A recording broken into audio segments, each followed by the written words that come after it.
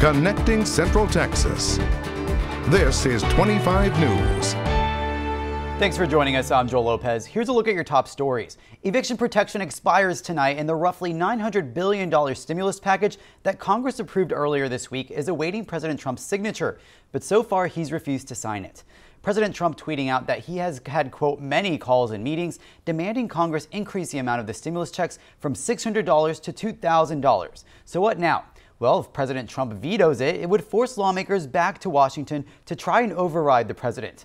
But if he does nothing and just holds on to the bill, for the next several days, it will expire and then it'll be up to the next Congress to try and do this all over again and get relief to the American people. The Texas Supreme Court has extended its emergency eviction relief program for tenants behind rent through at least March 15th. It's called the Texas Eviction Diversion Program and was created to help families recover from the impact of the pandemic without the looming threat of eviction. Now, since the pandemic began in March, nearly 4 million Texans have filed for unemployment. As Christmas comes to an end, a big danger could be at the end of your driveway. The boxes or packages you're throwing away could tell thieves what's up for grabs inside your home. So it's best to break down all those boxes and place them inside the garbage bins or recycling bins and take them out as close to pickup time as possible. And just to be safe, record all serial numbers on electronic items just in case something happens. A heads up if you're getting rid of Christmas boxes or packages, the American Forest and Paper Association is asking you to be mindful of what you put into recycling bins.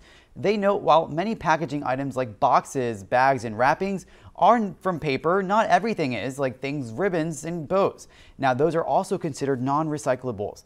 Now, many holiday cards may also fall under that category if they contain glitter or plastic. For a list of do's and don'ts on recycling, head to paperrecycles.org.